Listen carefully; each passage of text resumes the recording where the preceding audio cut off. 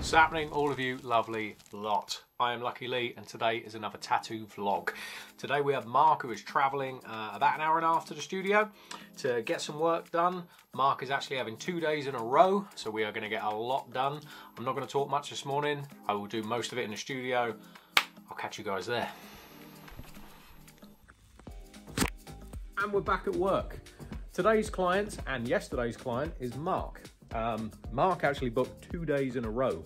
Mark travels about an hour and a half to get here, um, but Mark, in his own words, is impatient and he's having quite a big project done. And truth be told, he doesn't want to wait to get it finished, like, you know, session by session, which is fine.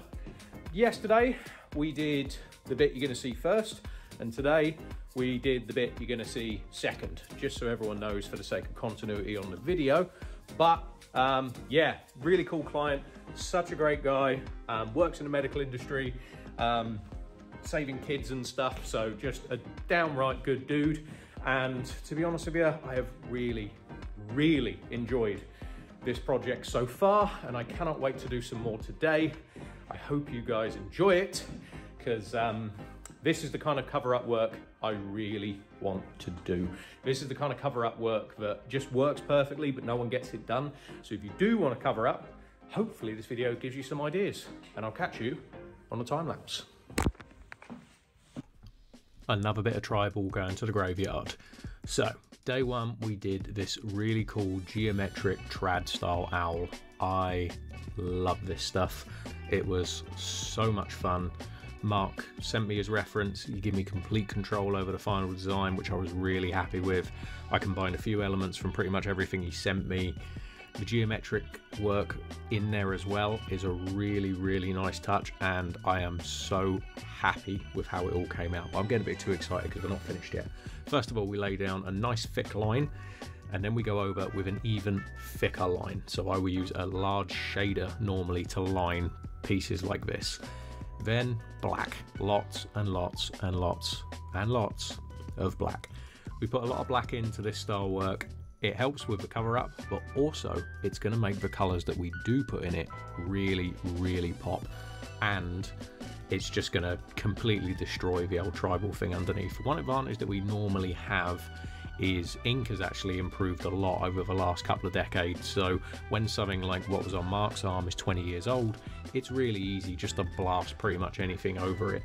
But if there's a load of black in there, life's even easier. Here we start adding in the leaves. The leaves on this are just going to tie in everything um, with day two's part of the project as well. And you notice I've whipped out a tiny little bit of shading at the bottom just so we can blend it seamlessly into the next piece.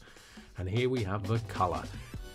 We use quite minimal colour on this, like a lot of reds and stuff, um, just because we wanted it bright, we wanted it to pop, but we didn't want to overcomplicate things because there's so much line work here. Um, we wanted it to just have that nice trad feel to it and then adding the basic geometric stuff in.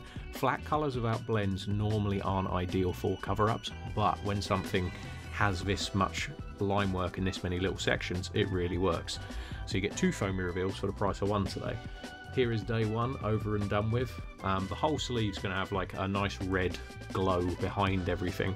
So I put a little bit of that in there just so Mark's arms looks a bit more finished when, you know, we're done for the day. But that was day one. And then we have day two. We did an all-seeing eye and a nice big rose both again adding geometric work to them. I didn't colour in the geometric individually um, as I did on the owl with this piece largely because of the size that we did them and it would have taken a very long time and also um, because I wanted the owl to kind of have its own bold look while still fitting these in with everything. Adding in these bits of geometric work I really really enjoyed and I want to do it more and more and more in my work as we move on. So again, nice big bold lines and then even bigger, bolder lines to accent the bigger areas. And then we go in and, yep, loads of black. Loads more black. Because if you're covering something dark and you want the thing on top to look bright, if you just whap some light colours over the top, the old tattoo is going to probably show through that, but also it's not going to have any contrast. And when you're, you know, working with a skin tone as your base as well, um, you need that dark for the contrast. So being able to do it in this kind of traddy, neo traddy style. It's, oh, you can tell how happy I am with this piece and just happy that I got to do it, to be honest with you. Um, it's really nice as an artist to every now and then, you know, most of our artists just hate their work all the time. It's nice to every now and then to do a bit and go, I am just so happy with that one. Again, tying everything in with a bit of red around the edge. Nice and simple, nothing too complicated. And we put in uh, a nice bright pink for the all-seeing eye with a teal eye with a kind of wood effect around it. Now, Mark just let me go for my life on this. Like, day one, he had a fair bit of input in the design of the owl. Um, day two, he was like, I 100% trust you, just do whatever you want to do. And I really appreciate that. I really, really do. Um, because once one piece is done, you can kind of work out the style that the client likes and just go from there. Um, it's just that first piece that we need a fair bit of input on. And here we have our second foamy reveal. I didn't re-foamy reveal the owl just out of kindness because it's a day old and I imagine that would have stung a bit. Also put a little trad flower at the top because there was just a weird gap after the owl was done. But yeah, here are two days on Mark. Really, really happy with this and cannot wait to do more of it. And I'll catch you guys in the office. And with that, Mark's two days in a row are done. Absolutely smashed it. Um, credit to him for being honest about being impatient. Absolutely nothing wrong with that. If you want your tattoos done, you get them done. Takes a lot to sit two days in a row as well, um, from just from a pain standpoint. Um, but just putting up with me for two days in a row, that's credit to you and to the guys I work with as well. but yeah, really, really cool. Awesome tattoo so much fun. I really would love to take my work in that direction. It's kind of a style I used to do a lot back in the day and I never get to do it anymore. So if anyone wants any, give us a message. All the socials are in the thing below. Hope you guys like that one. Let me know in the comments what you think of that tattoo and that style of tattoo.